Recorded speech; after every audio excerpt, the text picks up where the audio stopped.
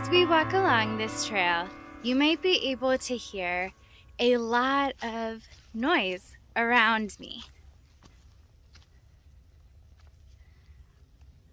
I know I hear many birds that are chirping, but there is an animal that as I walk on these cold, muddy trails with my fingers freezing that I'm not seeing, and that would be your reptiles and your amphibians or your herps.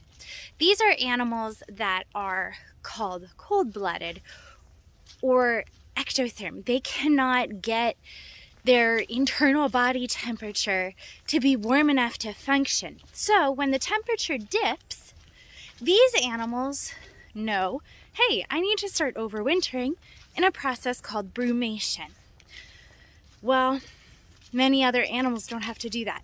Birds, for example, they might migrate or they might stick around as long as there's food resources.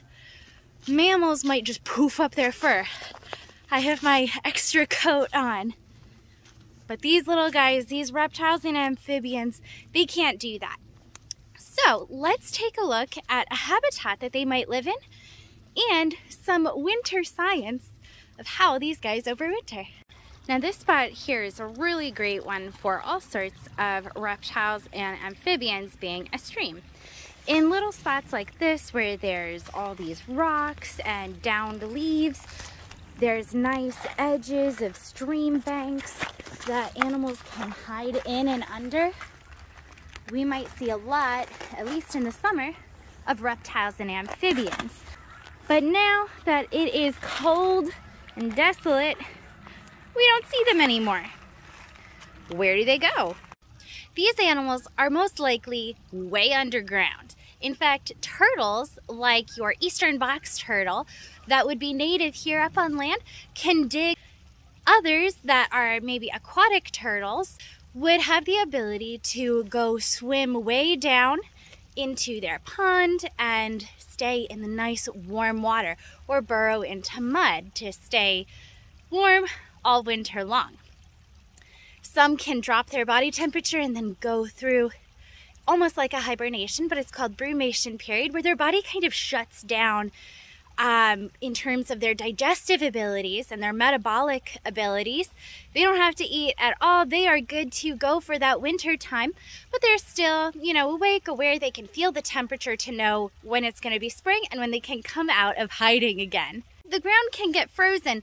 These animals that are going to be digging they want to go below that frost line. So let's do a little kind of science experiment or observation so that we can see why brumation is so important and why animals would want to dig down deep. For this, you're going to need three water bottles. One is going to be filled with water. One is going to be filled with mud and leaves and water. And we're gonna fill that third bottle with alcohol. I have my three things that we'll need for this little visual aid science experiment here. So now I'm gonna pop these all into my freezer and we'll see in three hours, we'll come back and take a look at the frozen status of these three objects.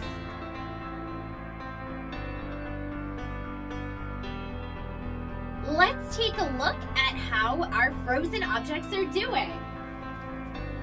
First we have the water.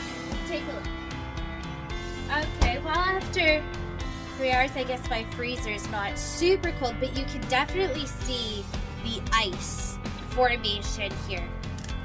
Oh, it is solid. Look at that. Water freezes at 32 degrees Fahrenheit or 0 degrees Celsius. So outside, when rain is falling, when snow is falling, when there's just these solid areas, solid puddles or ponds, those areas are going to freeze over really quickly and make that habitat very cold and very solid. But you can see kind of that middle area in that bottle there did not actually get to freeze over within that time frame. It's very similar for lakes those are areas where the water is pretty deep and pretty wide, only that top layer is going to freeze over, allowing that bottom area where there's fish or frogs buried to stay in water that's still water. It's not frozen into ice yet.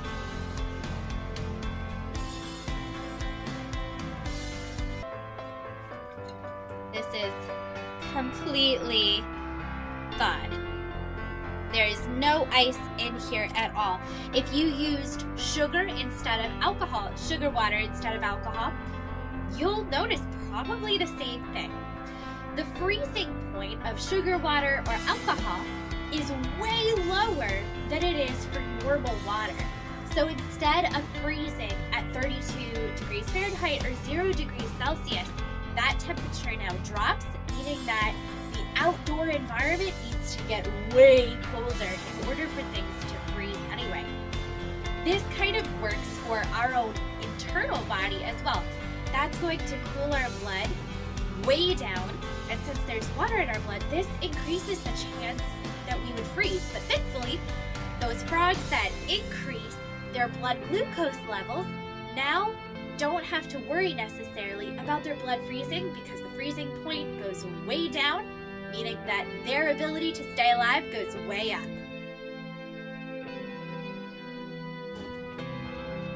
All right, it is pretty frozen, and if you look at the top, you can see that it is, it is solid. However, if we kind of pull these chunks of frozen soil away, we can see that there's some unfrozen stuff, some thawed out stuff, way at that bottom there. That's kind of what happens in the real world too. The soil layer is really deep, and while the top that's exposed to the snow, that's exposed to the moisture freezing at contact with the cold air, that stuff might freeze over that top surface. But farther down, it's still okay. That freezing layer hasn't gone all the way down. So if your reptile is able to burrow, able to dig down into the soil, down into the mud, they are going to be able to escape freezing. So next time you go outside for a hike or a walk in the winter and you think about all the wonderful things that are still out here, remember that our little cold reptiles and amphibians are nice and tucked away for the winter season. So keep an eye out in maybe like March or April for those re-emerging reptiles and amphibians that we all love.